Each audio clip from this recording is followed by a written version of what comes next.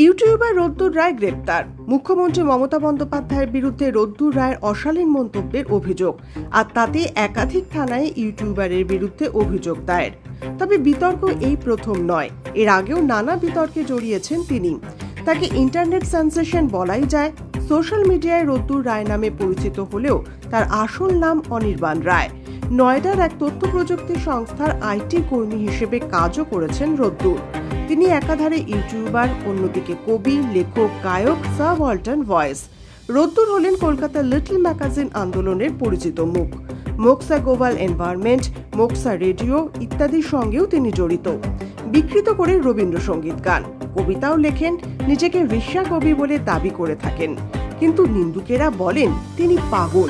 অনেকে আবার এমনটাও বলে থাকেন, রবীন্দ্রসঙ্গীত বিকৃতির দায় তার বিরুদ্ধে মামলা অবধি করে দেওয়া উচিত।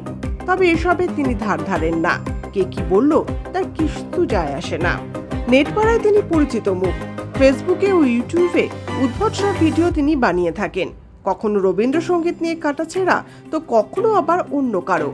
সাম্প্রতিক অতীতে নানা সমস্যা, যেমন সিএএ, এনআরসি, এমন নানান বিষয় নিয়েও বাণী শোনাতে কুণ্ঠাবোধ করেন না তিনি।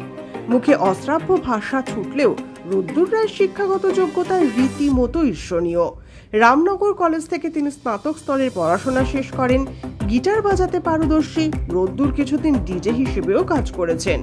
রোদ্দুর রায় গবেষক হিসাবেও কাজ করেছেন।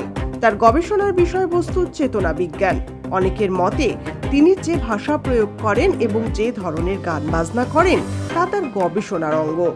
মনোবিজ্ঞানের উপর একটি বইও লিখেছেন রোদ্দুর।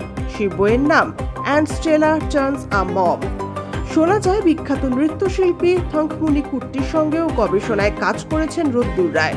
ব্যুরো রিপোর্ট আস্তাক বাংলা। আজ তক বাংলা, জানুন সব খবর সবার আগে। সাবস্ক্রাইব করুন আজ তক বাংলা। বেল আইকন প্রেস করতে ভুলবেন না।